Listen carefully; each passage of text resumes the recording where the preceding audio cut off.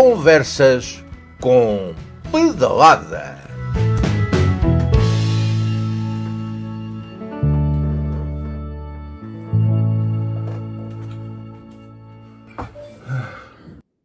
Ora bem, cá estamos nós nas conversas com Pedalada, hoje num horário mais ao fim do dia, com licença, deixa-me cá ver se está em condições de eu pedalar. Como veem, isto é feito numa bicicleta ah, está difícil.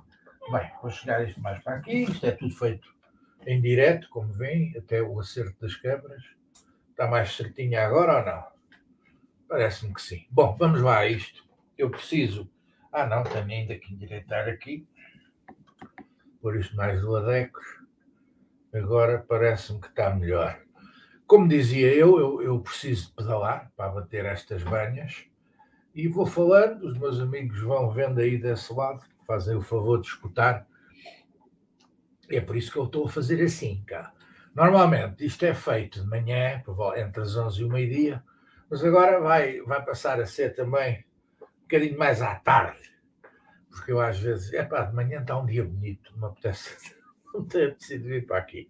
Venho a esta hora conversar com os meus amigos. Conversa número um, que eu escrevi aí por cima, que é sexta-feira manifestação, sábado reflexão, domingo votação.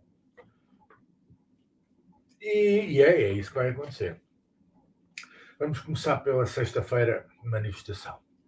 É uma manifestação online Portanto, há um link que eu irei pôr e, e que já está por aí, já a ser espalhado, quem o quiser usar. E é muito simples, é ir ao link, fazer clique no link e entrar. Aquilo depois fica lá com muitas janelinhas e cada um estará na sua janelinha. Ah, alguns irão certamente inscrever-se para dizer alguma coisa, podem falar, como é evidente, não todos ao mesmo tempo, já agora, mas pode-se falar tudo ao mesmo tempo. É uma manifestação só que online, porque assim podem participar pessoas de vários sítios do mundo, estejam onde estiverem, podem participar. Nós temos espectadores que vão desde a Coreia do Sul, até já nos mandaram imagens. Um abraço para a Coreia do Sul, para a Bélgica, França, Inglaterra, Estados Unidos, Canadá, Venezuela, Brasil, eh, enfim, África, vários países da África e da Europa, então, é a Alemanha, que esqueci-me, Luxemburgo, Suíça, Espanha. Vejam bem que até em Portugal nós temos espectadores, até na região de Saloia, é verdade, até na região de Saloia temos espectadores.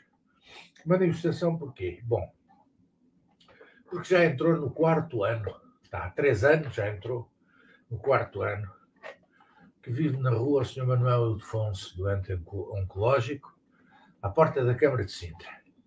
E muita gente dirá: opa, infelizmente há muita gente a viver na rua. Sim, é verdade. E alguns bem doentes. Sim, é verdade. Mas o senhor Ildefonso é uma situação caricata, porque é uma situação que facilmente seria resolvida se os municípios funcionassem.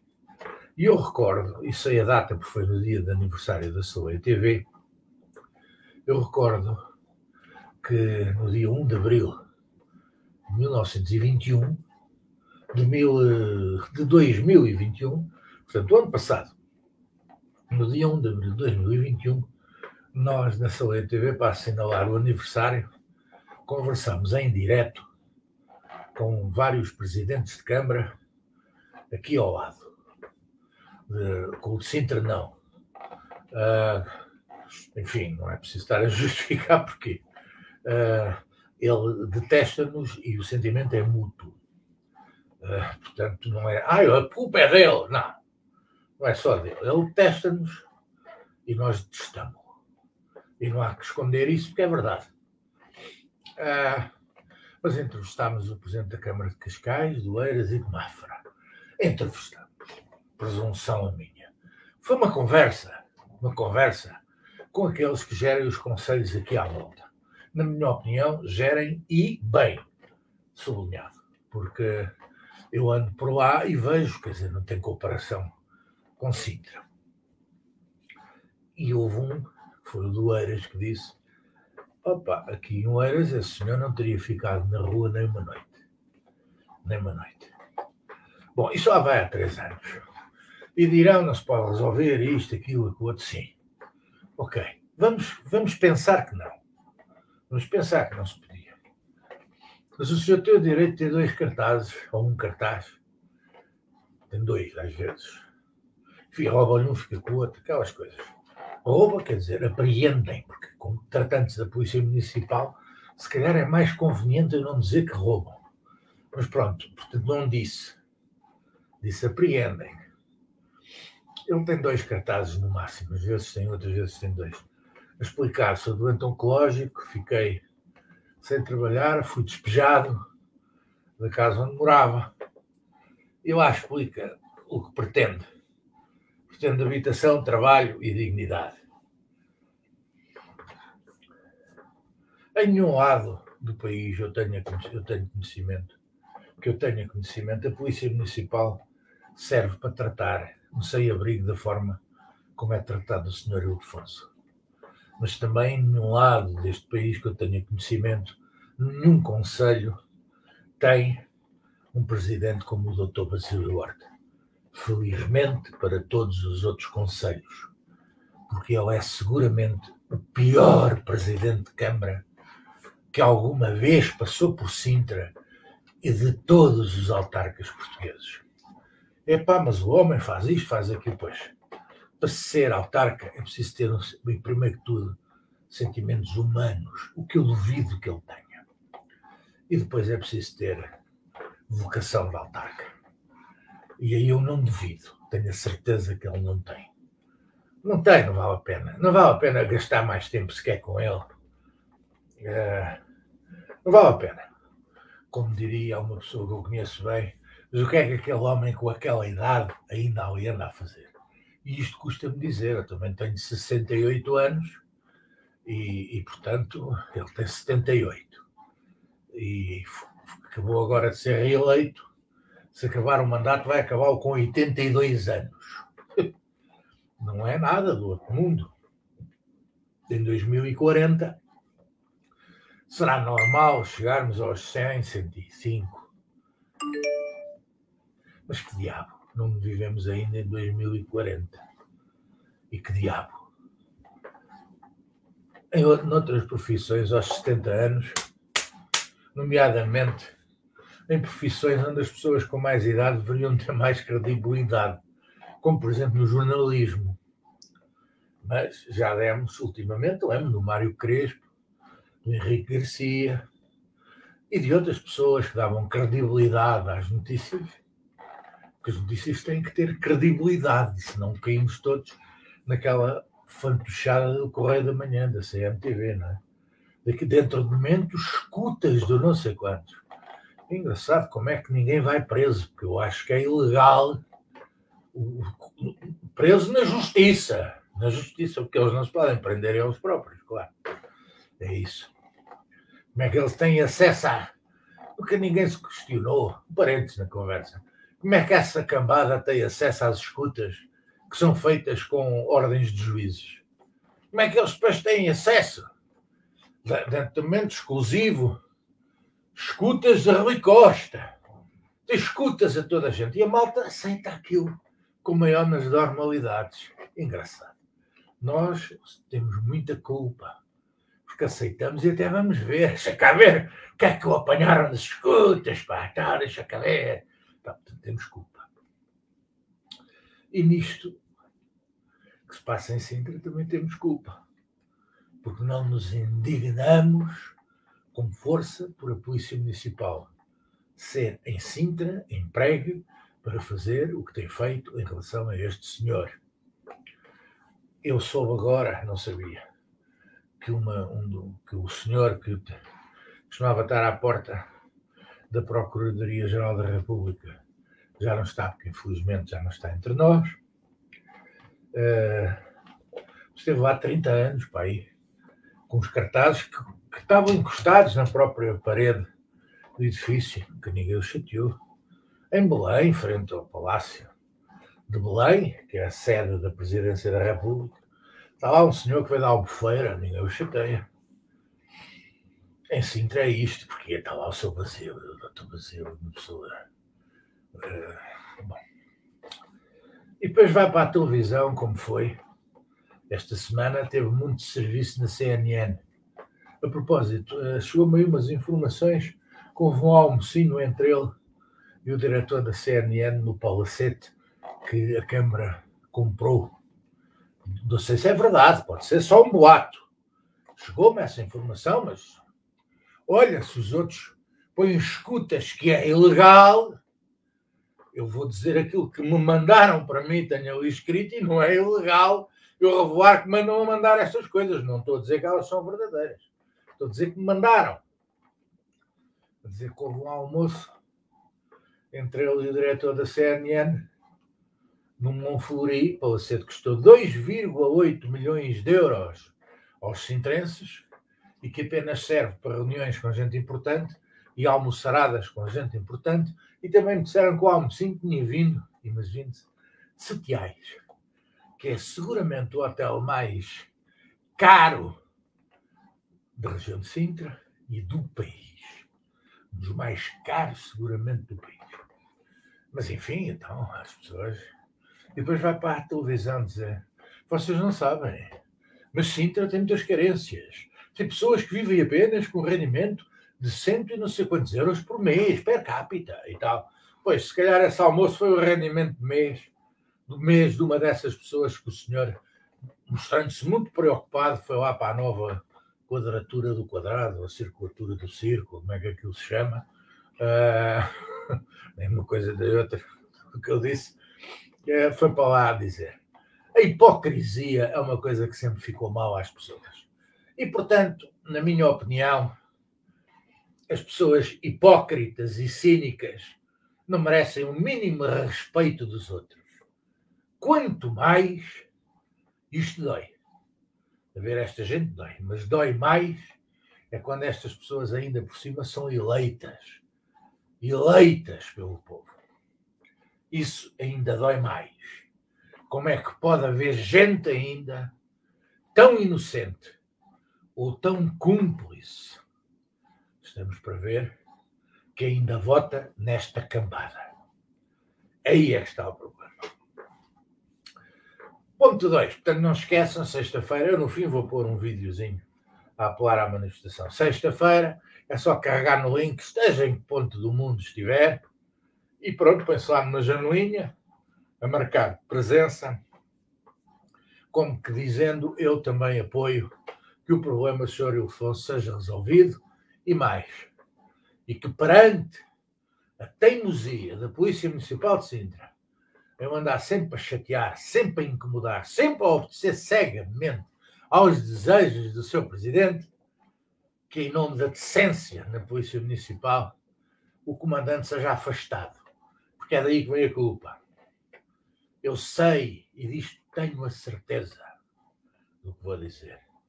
A maioria, a enorme maioria, dos agentes da Polícia Municipal de Sintra não gostam de ir fazer estas coisas ao Sr. Ildefonso. Vão muito contrariados fazer isto. E estão desejosos que nunca os mandem fazer isto ao Sr. Ildefonso. Mas quando o comandante manda, eles têm que ir.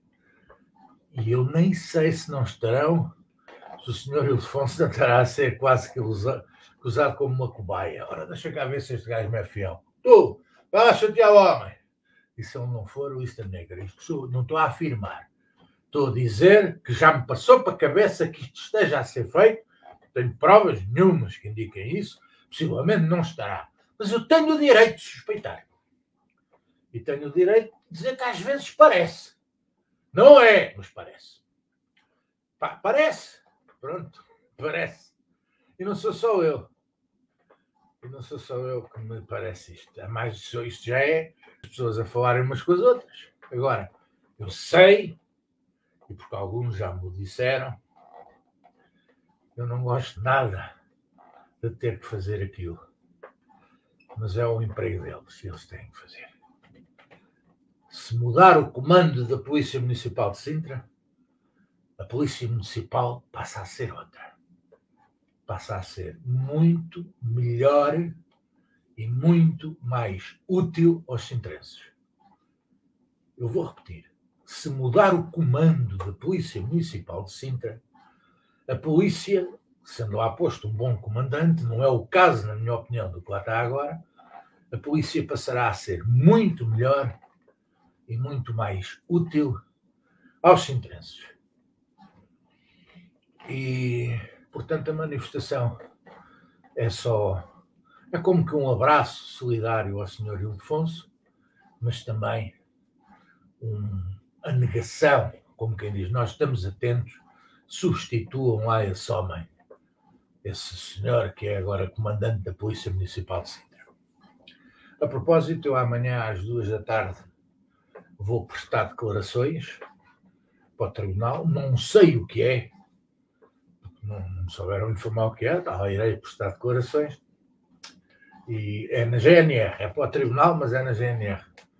E espero que isto me seja perguntado para eu poder prestar declarações. Espero que seja sobre este assunto e que isto me seja perguntado para eu dizer em declarações assinadas exatamente o que acabei aqui de dizer. E assina embaixo. Guilherme Leite, 2200-802 é o meu cartão de cidadão. Portanto, não esqueçam, na sexta-feira, às 19 horas, passem por aqui, é dia 28. Passem por aqui, cliquem no link que vai estar em cima e, e ponham-se lá na manifestação. É muito simples, é uma manifestação online. Ponto 2, meditação. Epá, eu palavra de honra que não sei para que é que serve o dia de meditação. Ainda por cima, alguns já votaram no domingo. Portanto, diríamos que esses já podem falar, porque não precisam mais meditar. Eu acho que a lei eleitoral tem toda que mudar. Isto é um disparate.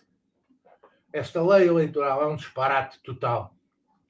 Os partidos deviam voltar a fazer prova de vida, recolherem assinaturas, porque desapareciam logo coisas como ADNs e trafolhices do género que aí andam, que eram outros partidos feitos por outros, aqueles mudaram o nome. Portanto, devia de aparecer, devia de, os partidos deviam voltar a fazer prova de vida, todos, ou seja, recolher as 5 mil assinaturas novamente e depois deixarem-se lá de círculos. Um partido pode ter 7, 8% de votos e em nenhum círculo ter os votos suficientes para eleger nenhum deputado. E, portanto, o que é que acontece? Acontece que nesses círculos, por exemplo, Évora, só há três deputados. Os que votam nos outros partidos, que não sejam aqueles dois que sempre estão a eleger, são votos deitados fora. Portanto, em Évora, um gajo pensa e diz: oh, eu voto neste ou naquele, os outros não elegem ninguém, nunca elegeram, o que é que iam eleger agora? Isso não pode ser. Tem que haver um círculo nacional. Somos um país, não andamos cortejados em 21 círculos eleitorais, creio eu. Pois há um da Madeira dos Açores aí, não sei, confesso que, mas acho que é a mesma coisa. É.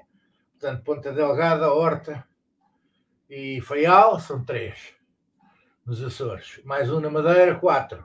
18 no continente, 22. Exatamente. Não, não pode ser. Tem que haver umas listas nacionais. E um partido que tem 8% de votos, mete 8% de votados, deputados. Eu até acho que pode haver duas câmaras. A Câmara Nacional, depois uma Câmara de Regiões.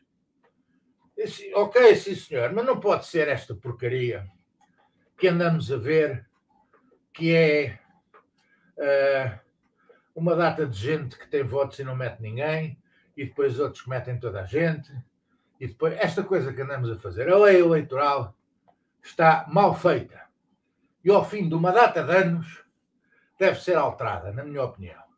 São precisos dois terços dos votos, acho que são. Pá, arranjam lá os dois terços rapidamente. Isto não convence ninguém. Esta lei eleitoral não convence ninguém e estes partidos também estão a não convencer ninguém. E mais, e façam um favor de pôr lá na lei eleitoral que pode haver candidatos sem partidos. Eu não quero estar na mão de um partido. Não quero estar na mão de nenhum partido. Zero, nenhum. E tem que haver candidatos que não estejam na mão de absolutamente nenhum partido. Reflexão, então reflita honesta. Nós gostamos do país, não gostamos? Mais do que, do que um clube de futebol, ou não? Epá, isto é um disparate que eu vou dizer, mas reflitam nisto. Se as pessoas de vários partidos se conseguem unir e fazer uma lista, porque o seu clube de futebol precisa deles, está em perigo, e a gente agarra eleições para o Benfica e vê, olha, este é do PSD, olha, esse aqui é do PS, olha, o PC também tem aqui, olha, sim senhor, estão lá todos juntos para salvar o clube não se conseguem juntar todos para salvar o país. É porque toda a gente já percebeu Portugal está cada vez mais a ficar atrás do resto da Europa. E não podemos continuar com o ordenado mínimo, que é um escândalo. E com, com a geração mais bem formada de sempre a emigrar.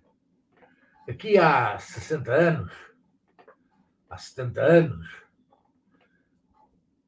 com todo o respeito e conheci alguns, com aqueles que emigraram, incluindo assalto, nós contribuímos para, para aumentar a iliteracia em Paris e em França. Porque muita gente mal sabia ler e escrever. Foram aumentar a iliteracia. Agora não. Agora é a geração mais bem preparada de sempre que se vai embora e aumenta a iliteracia cá. Aqui onde nós estamos. Que vergonha. Mudem lá a lei eleitoral e juntem-se lá todos para salvar isto e para evitar que apareçam fantochadas, aldrabices e pantominices como está a aparecer com esse André Ventura. A culpa de haver um gajo como André Ventura é dos outros partidos. Dá sempre nisto de aparecer a fanfarrões destes. E há aqueles que estão a ir na conversa desse senhor, vão ver a lista das pessoas que o apoiam e depois vejam. Se aquilo são os portugueses de bem, Santa Mãezinha. Domingo, dia de eleições. Vamos lá ver quem ganha. Nunca houve eleições em que as sondagens estivessem assim. Mas eu lembro de umas eleições já há muitos anos não me lembro o ano, mas, em que o PS já cantava maioria absoluta e aquele que ia ser nomeado primeiro-ministro era o doutor Salgado Zanha. Desculpem, o doutor Almeida Santos. Doutor Almeida Santos. Pessoa que eu depois conheci pessoalmente e que era uma pessoa com sentido de humor as poucas vezes que me cruzei com ele e que conversámos durante um minuto, uh, mas tinha sempre uma palavra de apreço quando encontrava e que via o trabalho que eu fazia na televisão, tinha sempre uma palavra de apreço, pessoa muito simpática. Uh, mas era ele que o iriam designar primeiro-ministro, já estava a festa feita. Eu lembro de uns cartazes que até dizia basta 40 e não sei quantos por cento para ter maioria absoluta. Hein? Iam para a maioria absoluta e já sabia quem era o primeiro-ministro, segundo as sondagens. Depois houve eleições e perderam. Não é não tiveram maioria absoluta, é perderam as eleições. Portanto, previsões só depois do jogo, como dizia o outro, né? como é que era? Prognóstico só depois do jogo. E eu diria, nestas eleições, até ao lavar dos cestos é vindima e por isso é que eu não consigo perceber como é que há um dia de, eh, de quê? De meditação, de, de reflexão. Como é evidente, não vai haver. O que vai haver é campanha subterrânea. Malta a telefonar uns aos outros. Epá, não te esqueças e tal. Pois, é o que vai haver. Mas pronto, a gente quer continuar a acreditar nestas coisas todas, a ver que nada disso é como eles dizem, e a ficar calados. É melhor não ficarmos. É melhor dizermos mesmo que a lei eleitoral tem que ser alterada. E foram a conversa comprovada ah, de hoje, dia 25 de janeiro. Agora vou pôr o videozinho para a manifestação e até amanhã, se eu não fiquei muito. Vamos lá ver se como é que eu fiquei das minhas costinhas. Mas pronto, vamos a isso. Ai, ai, ai, ai, ai, ai. Ai, ai, ai, ai. Ai, ai, ai, ai. Ai,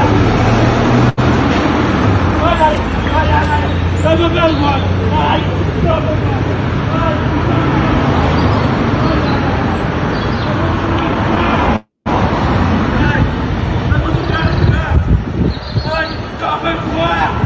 Ai, ai, ai. Se você se indigna com estas imagens,